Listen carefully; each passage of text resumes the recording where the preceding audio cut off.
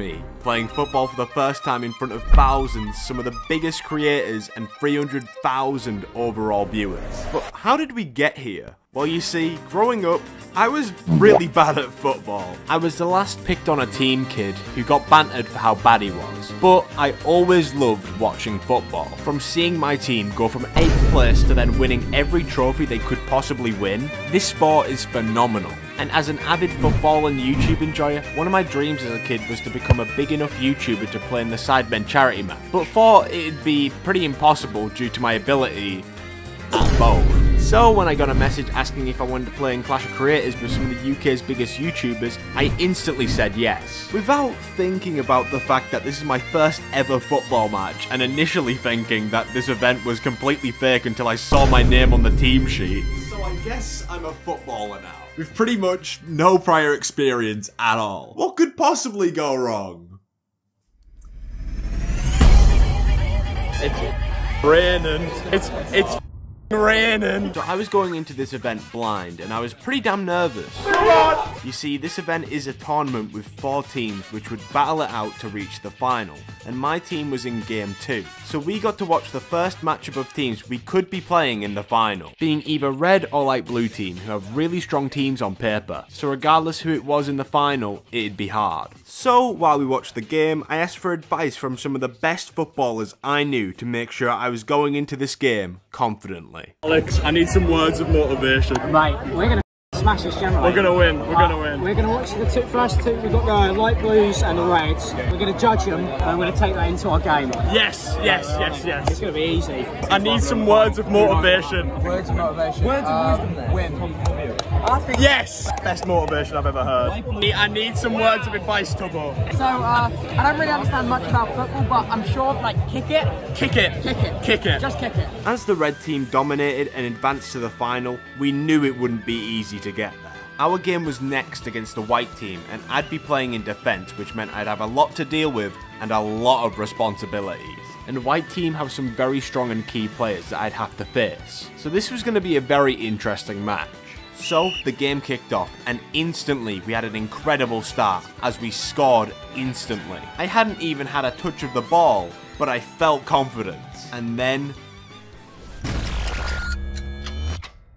Like, kick it, Kick it. kick it. Kick it. Just kick it. I kicked it. But the whites are in there at the moment, just like the light blues. Oh, lovely touch again, Charlie Morley. That And we scored again, but off of my move. I genuinely couldn't believe my eyes. What a great moment. I wonder what the commentary team thought of my contribution. Yeah, maybe, yeah. Thanks, guys. And then after that success, I tried it again, making sure it would skim one of their players again.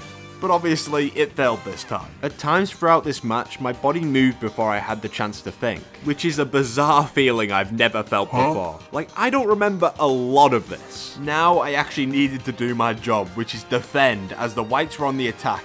And I'd done a pretty decent job, until I didn't. And I definitely didn't do terribly at trying to tackle, which definitely did not lead to them scoring a goal. Second half, we start with an attack from the white team. But while everyone's running back, my hamstring completely fails on me. And this leads to probably my worst attempt at defending in my life. And I drop to the floor knowing I let the man who made the cheeky Nando's song score against me. Absolute nightmare. After my hamstring injury, I came off feeling disappointed, feeling like I let my team down. I really relied on my team to pull through, which of course they did in absolute style, and we made it through to the final.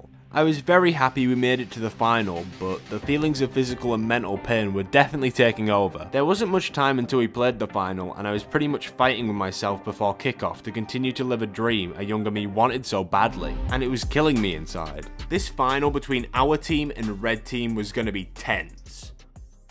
Almost as tense as my hamstring because I was going to play this game. Because guess what? We have no backup defenders. So starting this game with a dodgy hamstring and zero experience, this was going to be a challenge.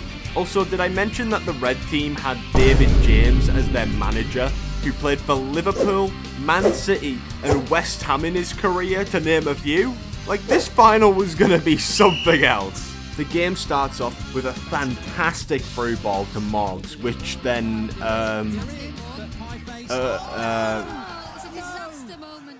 oh dear. Now we're 1 0 down already, which is obviously not great, and this led to a mass amount of red attacks to the point where I was Fast the only one boy. running back to defend. And with me outpacing Morgz with a dodgy hamstring and winning the battle, my leg was finished, and I had to come off in a very dramatic way. I felt a bit defeated overall, but regardless, I did my part and I rested.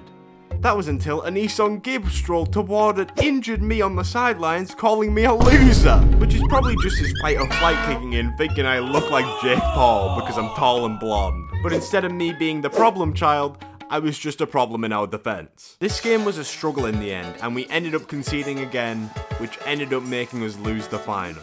Meaning, the Reds were the champions on the day. Which was a shame, but regardless, this day was a crazy experience for me, and regardless of how mediocre I was, I couldn't be more thankful for it. I met so many great people, and it was honestly one of the best days of my life as a YouTuber.